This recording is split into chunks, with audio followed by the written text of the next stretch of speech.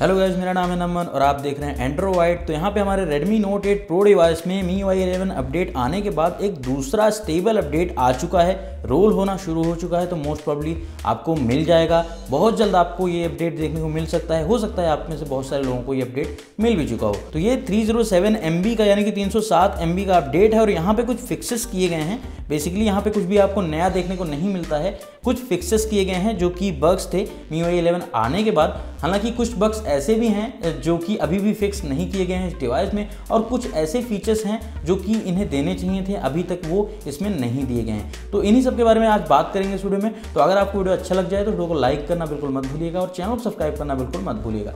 तो यहाँ पे ये अपडेट आ चुका है, तीन सौ का ही अपडेट मैंने इसे इंस्टॉल कर लिया है। मी वाई वर्जन 11.0.3.0 ये अपडेट है और मी वाई इलेवन आने के बाद ये पहला स्टेबल अपडेट आया है मेरे डिवाइस में। तो देख सकते हैं lock screen status bar notification shade के अंदर कुछ फिक्सेस किए गए हैं, जैसे कि couldn't open notification setting in the notification shade in second space तो सेकंड स्पेस अगर आप यूज़ करते थे तो वहाँ पे आपको नोटिफिकेशन सेटिंग ओपन करने में दिक्कत होती थी तो वो उसे फिक्स कर दिया है। हालाँकि मैं सेकंड स्पेस यूज़ नहीं करता हूँ तो मुझे उस बग के बारे में ज़्यादा पता भी नहीं है। और एक फिक्स किया गया है couldn't open the notification shade in some cases तो इसे भी फिक्स किया गया है। और साथ में ये वाला जो बग है images overlapped in scrolling screenshots तो ये वाला बग मैंने भी फेस किया था स्क्रॉलिंग स्क्रीनशॉट जब कैप्चर करते थे तो कई बार वहाँ पे वो इमेज ओवरलैप करती थी। तो ये भी बग मैंने नोटिस किया था। तो यही कुछ फिक्सेस इसमें आपको देखने को मिलते हैं, और साथ में आपको नवंबर का सिक्योरिटी पैच लेवल देखने को मिल जाता है। तो मैं आपको यहाँ पे दिखाना चाहूँगा। चलते हैं इसकी सेटिंग्स में। अबाउट फ़ोन में, यहाँ पे आप देख सकते हैं कि एक ग्यारह दो हज़ार उन्नीस का, यानी कि नवंबर का आपको सिक्योरिटी पैच लेवल देखने को मिल जाता है। मी वही eleven point zero point three point zero stable update में। अब बात करते हैं जो चीज़ें इसमें अभी भी नहीं आई हैं। तो सबसे पहली बात कि इसमें जो कास्ट वाला फीचर था, वो अभी भी वर्क नहीं कर रहा है। मी वही इलेवन आने के बाद कास्ट वाला फीचर ज़्यादातर डिवाइसेस में मोस्टली डिवाइसेस में, जिनमें मी वाई इलेवन का अपडेट आ चुका है, वहाँ पे देखने को नहीं मिलता वर्क ही नहीं करता, और ख़ास करके मी टीवी के साथ। यहाँ पे आप देख सकते हैं, ये पता नहीं कौन सी टीवी यहाँ पे डिटेक्ट करके ला रहा है, लेकिन मी टीवी इसको बिल्कुल भी डिटेक्ट नहीं करता है। मेरे घर में भी मी टीवी फोर लगी हुई है, लेकिन ये उसे डिटेक्ट नहीं करता है। और मेरे घर में अमेजोन फायर टीवी है तो उसे ये डिटेक्ट कर लेता है, उसमें कास्ट हो जाता है, लेकिन मी टीवीज में कास्ट नहीं हो रहा है। और ये इशू मैंने अपने Redmi K twenty Pro Redmi Note eight Pro Poco F device सभी में फेस किया है कि मेरी जो मी टीवी फोर है, उसको कोई भी device Mi UI eleven update आने के बाद डिटेक्ट नहीं करता है।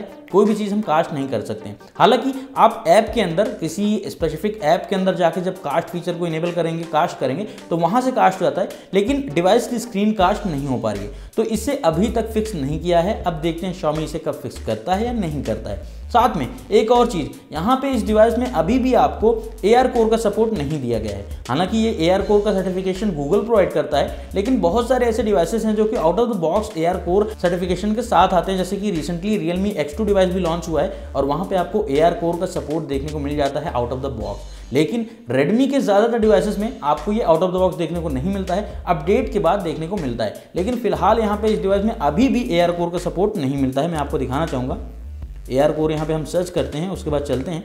देख सकते हैं your device is incompatible with this version तो कुछ इस तरह से यहाँ पे आता है. और एक चीज़ आपको बताना चाहूँगा कि यहाँ पे अमेजोन प्राइम वीडियोज़ और नेटफ्लिक्स के ऊपर अभी भी आप इसमें फुल एचडी कंटेंट को स्ट्रीम नहीं कर सकते हैं। यहाँ पे मैं दिखा देता हूँ सेटिंग्स में स्ट्रीमिंग क्वालिटी बेस्ट देख सकते हैं 0.46 पॉइंट पर आर है। तो यहाँ पे इस डिवाइस के लॉन्च के दो तीन महीने हो चुके हैं तकरीबन, और यहाँ पे अभी भी इसमें फुल एचडी या फिर एचडी कंटेंट हम स्ट्रीम नहीं कर पा रहे हैं ओ टी प्लेटफॉर्म्स के ऊपर, जो कि मेरे लिए काफ़ी डिसअपॉइंटिंग बात रही है। डिवाइस की डिस्प्ले काफ़ी बढ़िया है। यहाँ पे डिवाइस की डिस्प्ले काफ़ी बढ़िया है। यहाँ पे आपको वाइट वन एलेवन सर्टिफिकेशन भी मिल जाता है। लेकिन शॉमी अपने डिवाइसेस को ओ टी टी प्लेटफॉर्म्स के ऊपर व्हाइट लिस्ट नहीं करवा पा रही है। अब ऐसा क्यों है? मुझे नहीं समझ में आ रहा। यहाँ पे नौ दस हज़ार रुपए के प्राइस में जो डिवाइसेस आज के टाइम पे आ रहे हैं, वो व्हाइट लिस्टेड हैं। ज़्यादातर ओ टी टी प्लेटफॉर्म्स के ऊपर एटलीस्ट नेटफ्लिक्स अमेजन पे तो व्हाइट लिस्ट ही है। जैसे कि रियलमी एक्स टू डिवाइस भी मैं यूज़ कर रहा हूँ तो उसमें भी Netflix Amazon Prime full HD में चल जाता है, कोई दिक्कत नहीं होती। और वीवो का यू जो डिवाइस है, उसमें भी फुल HD कंटेंट हम स्ट्रीम कर पाते हैं। तो शॉमी को थोड़ा सा ध्यान देना पड़ेगा, यहाँ पे फुल एचडी कंटेंट स्ट्रीम करने का ऑप्शन हमें देना पड़ेगा, इसके ऊपर मैंने वीडियो भी बनाया था, लेकिन शॉमी यार कुछ भी सुधर नहीं रहा बिल्कुल से।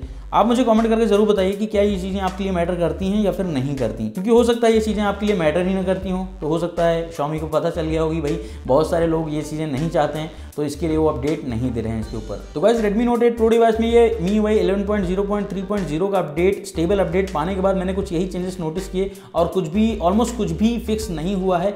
जो चीज़ें वहाँ पर बताई गई हैं, हो सकता है वो फिक्स हुई हूँ। या हो सकता है कुछ नए बग्स भी आ गए हों, क्योंकि शॉमी का रिकॉर्ड रहा है कि अपडेट के बाद वो बग्स भी देता है। तो अगर आपने अपडेट कर लिया है अपने डिवाइस को और कुछ बग्स या फिर कुछ इंप्रूवमेंट्स या फिर कुछ नए फीचर्स आपने नोटिस किए हैं तो आप मुझे कॉमेंट करके ज़रूर बताइए। अगर कुछ कमाल का मिलता है तो मैं उसके ऊपर वीडियो ज़रूर बनाऊँगा। बाकी अगर आपने चैनल सब्सक्राइब नहीं किया है सब्सक्राइब कर लीजिए, क्योंकि Redmi Note eight Pro device से रिलेटेड आपको वीडियोज़ हमेशा मिलती रहेंगी और भी बहुत सारे डिवाइसेस से रिलेटेड वीडियोज़ आपको हमेशा मिलती रहेंगी। तो चैनल सब्सक्राइब करना बेल आइकन को प्रेस करना बिल्कुल मत भूलिए। थैंक फॉर वॉचिंग वीडियो मिलते हैं नेक्स्ट वीडियो में।